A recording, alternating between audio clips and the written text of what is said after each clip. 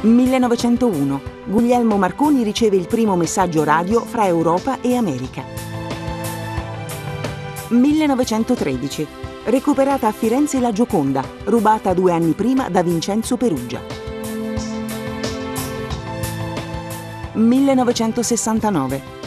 Milano, ore 16.37. Strage di Piazza Fontana. Commenta il fatto del giorno Roberto Papetti, direttore de Il Gazzettino. Oggi parlerò di The Voice, Frank Sinatra.